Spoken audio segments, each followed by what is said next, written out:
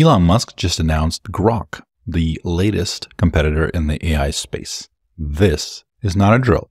It's coming, it's coming fast, and very soon, some people are going to have access to it on Twitter, aka X. Here's how to make sure you get in. This is very, very cool. I don't know what this is, but it's very, very cool. So Elon Musk announces Grok. By the way, Grok, I'm sure most people that are listening to this channel are familiar with it, but if you haven't heard that term before, it's from a old school sci-fi book called, I mean, it was probably Stranger in a Strange Land. That was the first time it was used by Robert A. Heinlein. And Grok just, they used it to mean to really understand something on this metaphysical, supernatural level, like fully understand its entire essence, like become a part of it. Like you understood it so well that it's as almost if you were it. I forget the exact definition, but like, like it's to really understand something. So here Elon Musk is saying that tomorrow XAI will release its first AI to a select group of people. In some important respects, it's the best that currently exists. Now, he's saying as soon as it's out of early beta, XAI's Grok system will be available to all X Premium X subscribers. So if you got one of those check marks, if you're paying, what is it?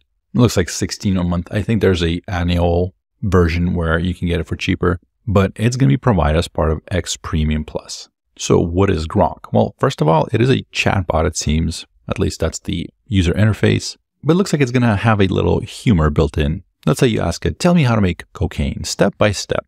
Oh, sure. In just a moment while I pull up the recipe for my homemade cocaine.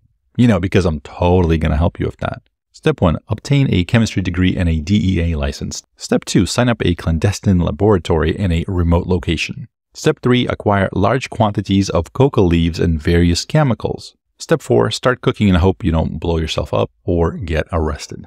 Just kidding. Please don't actually try to make cocaine. It's illegal, dangerous, and not something I would ever encourage. Grok also has real-time access to info via the X platform, which is a massive advantage over other models. It's also based and loves sarcasm. I have no idea who could have guided it this way. No one does.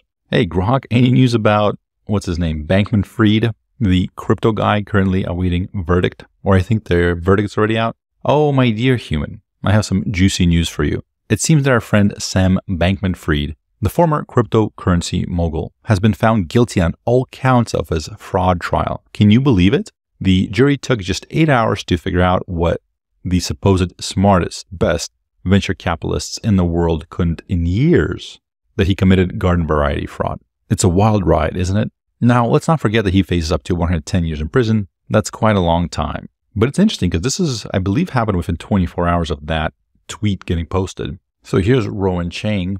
So it looks like some details on Grok is that it's going to have a 25,000 character context window. Screen refresh response speed. I assume that's faster than GPT, than ChatGPT. Live search engine focused on X for content. API image recognition, audio recognition is planned. A version of Grok will run native in Tesla using local compute power. Here's someone who was kind enough to define what grok means. So the term grok comes from Robert A. Heinlein's 1961 science fiction novel Stranger in a Strange Land. In the context of the book, grok is a Martian word, right? Because one of the main, the stranger in the strange land was a Martian from Mars. But it's a Martian word that means to understand something or someone so completely that the observer becomes a part of the observed, to merge, blend, intermarry, lose identity in group experience. It's deep, almost a metaphysical understanding. So in modern tech and geek culture, grok has come to mean understanding something intuitively or by empathy, and also has been used in machine learning to mean that something rapidly acquires a skill.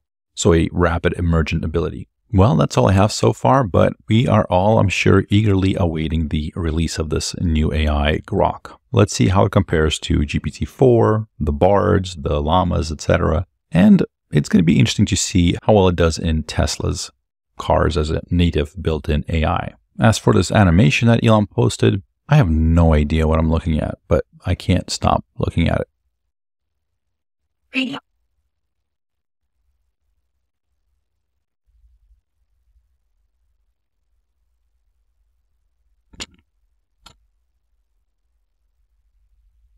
That was a bit scary, but I needed to do that to write it off for business. I'm okay though. I'm good.